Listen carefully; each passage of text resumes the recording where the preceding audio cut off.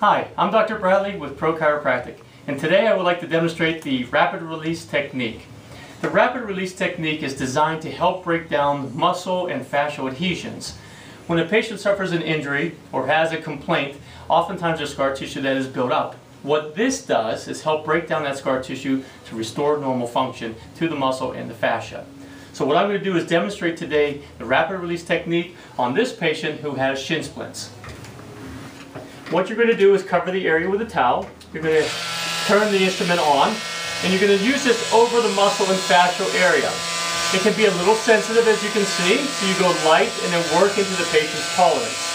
I like to use it in slow circular motions along the course of the muscle. And then sometimes you can strip it as well and start over again.